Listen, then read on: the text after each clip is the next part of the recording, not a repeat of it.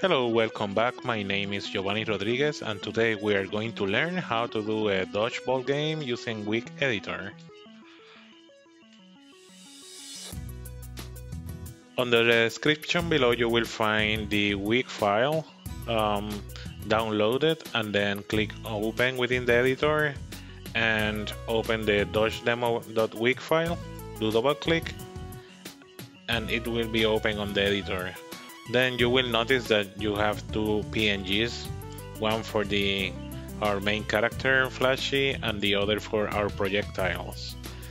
So let's add to canvas the main character and then let's resize it a little bit. Let's do like um, 0.3 here and 0.3 in here. That should be good and then let's convert it into a clip and let's call it flashy. Okay? So now let's start programming flashy. In order to do that we will need a update script. So let's get rid of the default one delete and then add script. Let's go to timeline and then click on update so after you have your update script, the first thing that we want to to do is um, to program the the movement. So all right. So then we have if is key down um, left button. We will be defining that button later. If that happens, let's just move flashy to the left. This dot x minus equal. Um, let's define a flashy speed, like a flashy speed, and then else if same thing. Let me copy this line here, copy and paste. Same thing with the right button the user press right, then instead of moving flashy to the left, let's move flashy to the right. Uh, we will be doing that by putting plus equals instead of minus equal. Then speed, and that should be the magic. Now we have to define these three variables somewhere. So for that, let's let's do it in the in the default script of the first first frame. So let's click default and then let's click flashy speed equal to 5 um, maybe left button equal to left which is the left key in the keyboard and then right button to right. Then let's define other variables needed for this game. Uh, for every game I define a boolean variable called game over. Um, since I'm defining this in here, they will be um, globals. So game over is, it will start in false state because we will be playing until we are dead, which is game over. Game over equals equals to to true. Then a timer. Um, this is for the projectiles to start uh, cloning. Max time. This will be uh, also used for the for the projectiles. Since we are running this um, application in six frames per second, we will start in, uh, throwing projectiles in, in, you know within a second. So then uh, we have the flashy speed.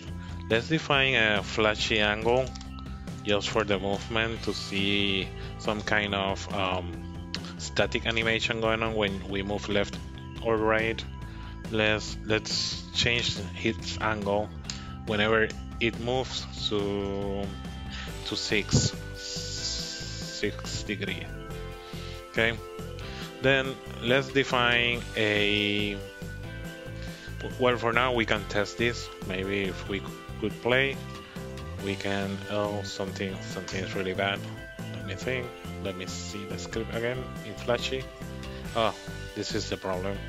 So in here, I'm sorry, it should be X as well. So let's do that now.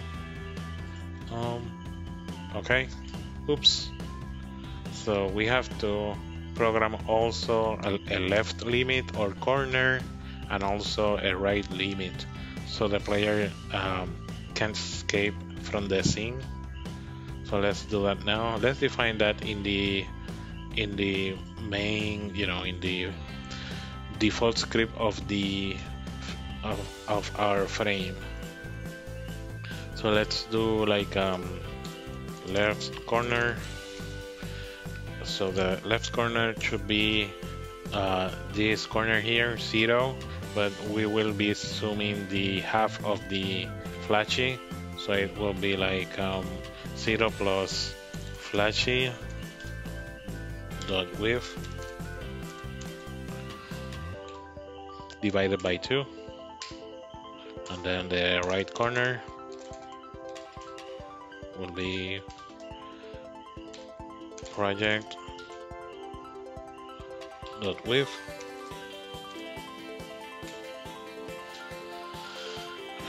minus uh, flashy.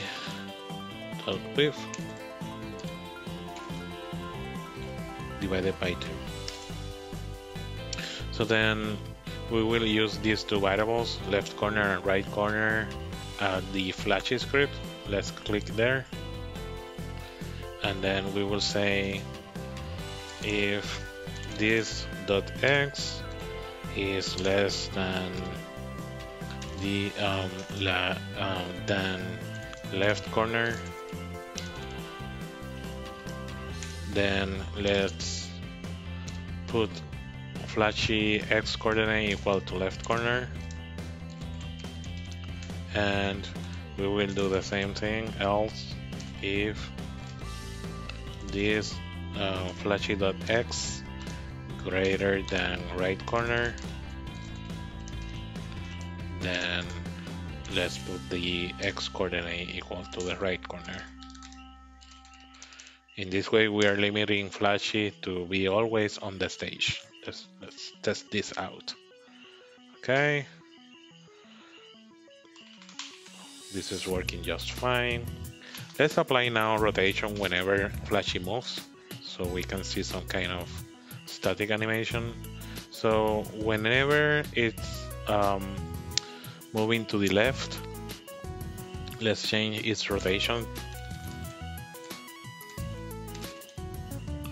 Um, to the to the flashy angle that we define. Um, the same thing with when we move to the right we want the same thing but in this this time around to positive flashy angle. Let's see. Whoop. so whenever we are you know move backwards it will rotate and forward it will rotate as well. This is like a good um, effects for for the for the walk animation without animating anything. So that's good. Oops but whenever we are idle it it will be on the last angle that we assign. We have to reset that to zero whenever we don't press either right or left keys. Let's do that. So let's go to the flashy code and in here we can add an else which is where we are not um not in here. In here. Else. This is when we are not neither, you know, uh, pressing left or right. So then this is the idle. So we are, we don't have to add anything to the x coordinate, but we have to reset the rotation to zero. Let's do that. Paste zero. Let's test this out. And this is behaving fine. Alright, what else? Um, so, since we defined a game over, let's also allowing the player to move flashy when we are playing and not during game over. In order to do that, this whole code should be inside of an if statement and that if statement should be if game over is false that means that we are playing. Then we just do a cut and paste. And I want to indent everything so we can have a better readable code. And whenever game over game over if false we can use also triple uh, equal sign. And let's do it since game over is false everything is working fine.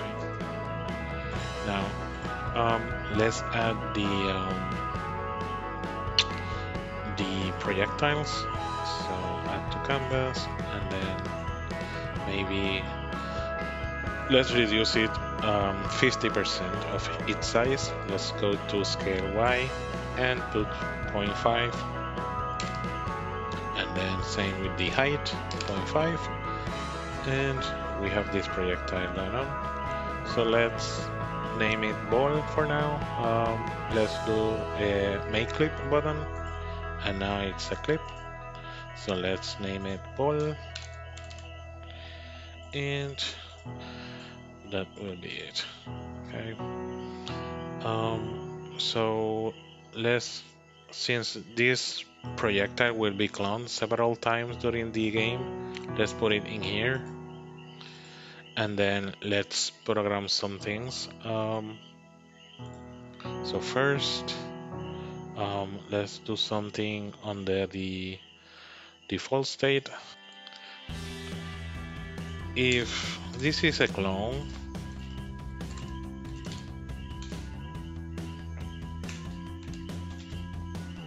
we have to identify it and then if not we have this session here. So you will have two scenarios. The first one is when this ball is a clone and the second one is when it's the original. So in here for the clone uh, ball um, projectile code and here for the original projectile code. For the original I want to disappear the original so I will do a this dot opacity equals to zero. And then for the other, I want this dot opacity equals to one. So right now, if I press play, this projectile should disappear. And that it, it disappeared. And then when I hit pause again, it will appear. Okay, so we have that done. And then I will also uh, define a variable for when it's a clone, which is the speed of the ball of the projectile, ball speed. Um, it will start at zero, like if we are just um, releasing the ball from the ceiling, and then it will start accelerating. So now let's add like um, an update script so the projectile can fall. Um, click uh, timeline and then update. Okay, so within the update, we want these projectiles to be moved only when we are not in game over. So when we are playing, so we need like um, if game over is false, um, we can do this also another method, method is since this is a boolean variable we can just delete this and then it will return true or false and we can set like a not in here and this will read like a, if we are not in game over then we will be doing this. Okay? All right and then since I don't want the original to be moved I need to to differentiate between if this is a clone or not. So only the clones will be moving. So if this is a clone, um, then this code will apply. So we had we had already in the default a variable called ball speed. first we need to uh, make sure that that's not zero anymore so we will be like uh, increasing that a little bit. Let's do like a 0.3 every single frame. It will accelerate at that frame at that rate and then we will be assigning that into the into the y coordinate. So since um, in graphics uh, positive it's like from top to bottom so we will need to assign y you know in a positive way in here. And then we will do like a this uh, dot ball speed. And then we will uh, every single projectile that is cloned will be checked if it's hitting flashy so we can have a game over okay? So we need to program that. And there is a built-in function called hits so if this which is the projectile hits and then who it would be flashy flashy if that happens then we want game over to be true. So that's that will do the trick.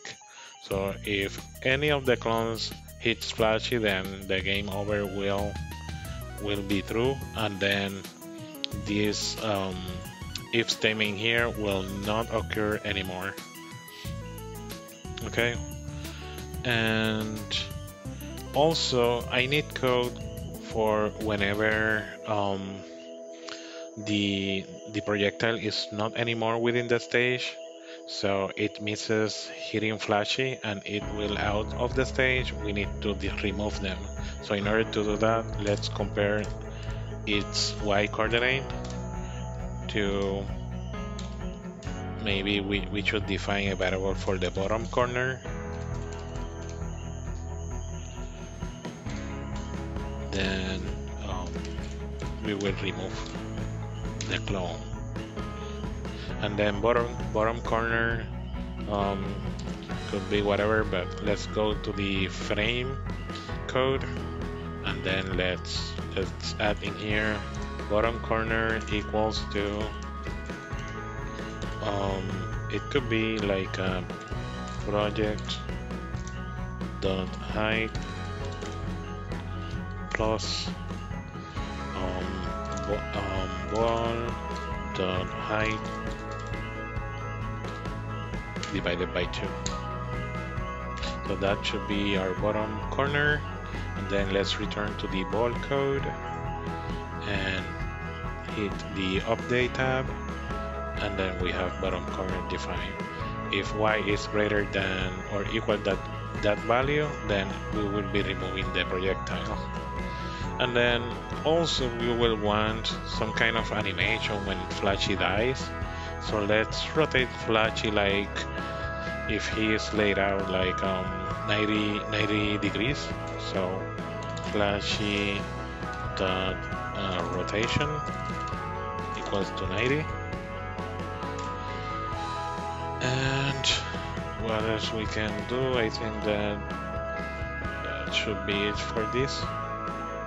And then we have to put some code so we can clone these um, balls here. So let's add this at the mainframe in the update tab. We don't have any update tab for now. Um, so we can do that now. Let's just click in here. Um, and then timeline and then update. So let's let's during our gameplay let's clone these projectiles. So we we need to do it if game over is equal to false. So we are playing we're still playing. So let's do if um, not game over. Sorry game over. Then um, let's we define a timer variable and max time. Um, so let's let's increase that timer by one. And then if timer is greater or equals or greater than max time?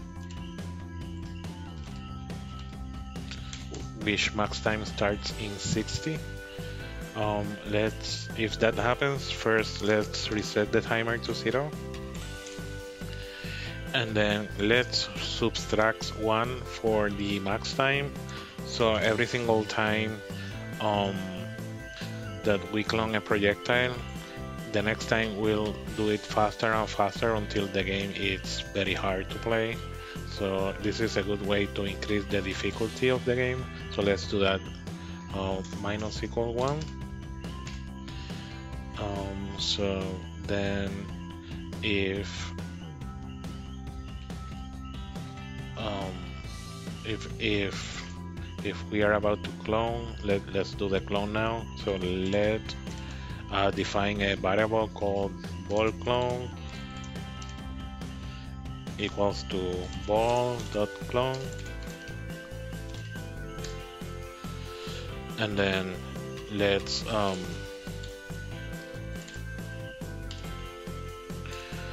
so let's assign a random coordinate for for where the ball will be cloned. And for that point it will start falling. We want at some point from this corner to this corner so we can do like um random dot integer from maybe left corner to right corner which are these two variables that we have defined already for flashing left corner and right corner. We can use the same too for our our projectiles clones and that will will do the, the trick. Alright so let's try this now.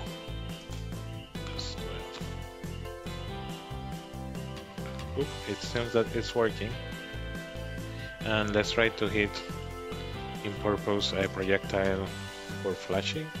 And the game over transition from false to true and flashy rotates to 90 degrees and everything stopped because we put everything uh, guard by a game over variable so this is working just as expected um, so now let's continue playing to see what's going on. So it's supposed to be harder and harder because we are um, putting our timer max time, um, decreasing its value every single time. So it will start be like cloning projectiles as crazy. So now it's starting to do that. It will be like um, impossible at some point. So uh, at this point, the game it's become unplayable, right? This is a difficulty that we don't want in our game because then um, this will be the maximum amount of of time that a player can can play our our game. So we need to do something about it. So let's go revisit that um, timer logic. It's under the frame logic in the update so in here we are saying, you know, um, every, every single time that the timer is equal to the max time, we are um, decreasing this max time. So we have to put a limit. This cannot be, you know, zero because it will be impossible. Let's try um, maybe 10. So if max time it's less than 10 let's set max time to 10 so in this way this will be the limit and maybe we could do like a 9 just in case. Let's try that now. Right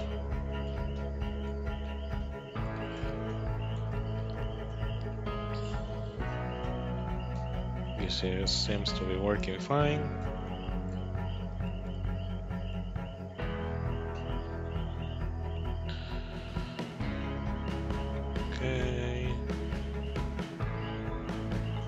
So it started to to getting hard and hard but if you notice we don't have now all those projectiles at the same time. We I think that we already reached that limit where the max time is equal to 9 and it's always be 9 and this difficulty is already hard but it's not something that we cannot avoid. So this is perfect for our game so now what is missing in order to, to this to be like a full game is some kind of measure like um, how how to make the player knows if it's you know playing better than before or it's still um, playing the game um, you know with the same amount of time or not. So we have to do some kind of score going on so in order to do that maybe whenever a projectile um, disappears we can increase our score. Let's define a score now. So let's go to the text and put in here score uh, score. And then usually I select a different like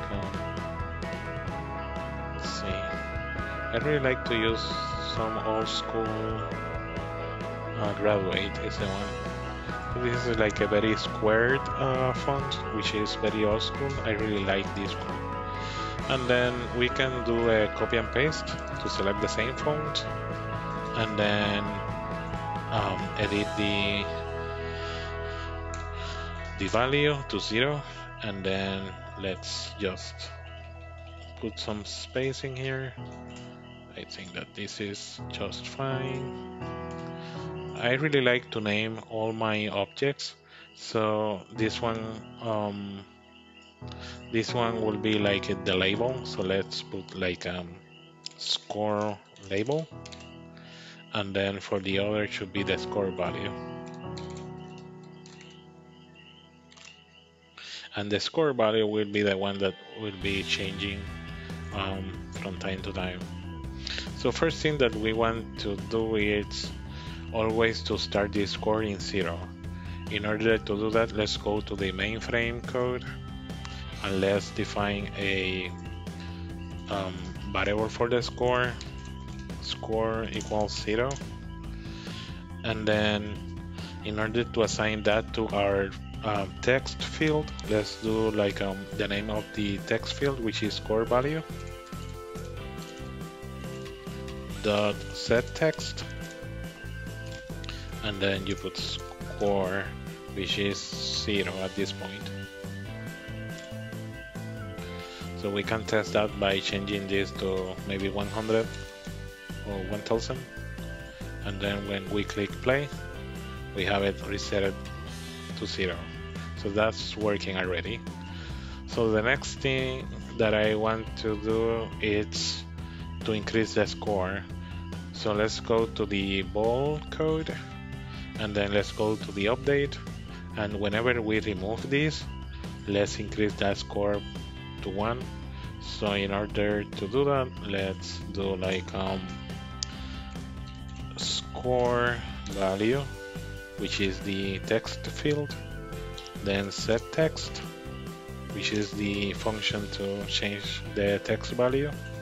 And then let's increase the score plus equal to 1 and then let's test this It seems that it's working just fine. So this is getting good. And now let's change this to be like um, a very Wick Editor um, brand color. Let's try to mimic this green in here um, for this stage.